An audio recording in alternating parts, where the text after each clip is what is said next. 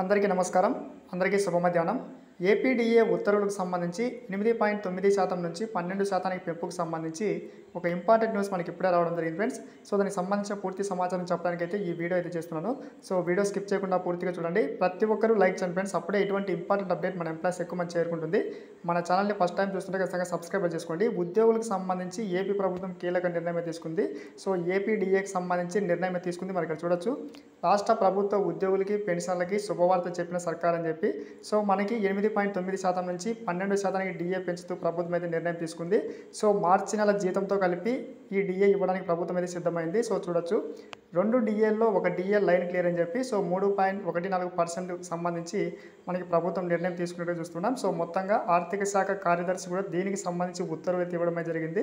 So ఆర్థిక శాఖ కార్యదర్శి రావత్ ఉత్తర్వులు అని చెప్పి చూస్తున్నాం ఫ్రెండ్స్. సో పెంచిన డిఏ మనకి రెండు వేల పదహైదు జనవరి నుంచి మనకి ఇక్కడ వర్తింపు అయితే ఉంటుంది. మరి ఇక్కడ చూడొచ్చు.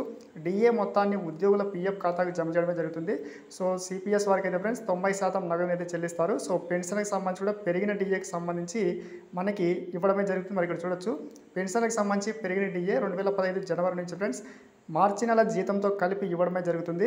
సో మొత్తంగా వెయిట్ చేస్తున్నటువంటి ముఖ్యంగా ఉద్యోగస్తులకు సంబంధించి డిఏకి సంబంధించి ప్రభుత్వం అయితే మనకి ఇక్కడ శుభార్త చెప్పిందని అనుకోవాలి ఫ్రెండ్స్ మొత్తంగా డిఏ అయితే మనకి ఎనిమిది పాయింట్ తొమ్మిది శాతం నుంచి పన్నెండు శాతానికి పెంపు అని చెప్పి చూస్తున్నాం. సో ఇటువంటి ఉద్యోగులకు సంబంధించి ఇంపార్టెంట్ న్యూస్ కోసం మన ఛానల్ సబ్స్క్రైబ్ చేసుకుని డైలీ ఫాలో అవ్వండి.